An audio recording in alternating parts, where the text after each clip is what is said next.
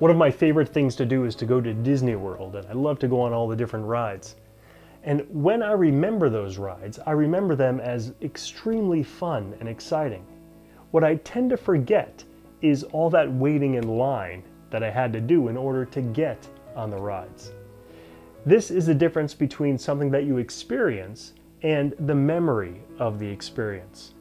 The experience, of course, you feel in the moment, and waiting in line could be painful, but the memory is a little bit different because memory is not very good at duration. This is an example of duration neglect, and it's defined as the psychological observation that people's judgments of unpleasantness of painful experiences depend very little on the duration of those experiences. Now imagine you are in charge of running a seminar on a boring topic. You could either do it as a two hour crash course or you can do it as an all day event with many interesting, fun, and entertaining events scattered throughout the day.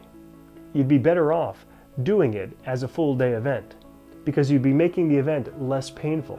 So, although the experience may be the same amount of pain overall, the memory of that experience would be a lot less painful.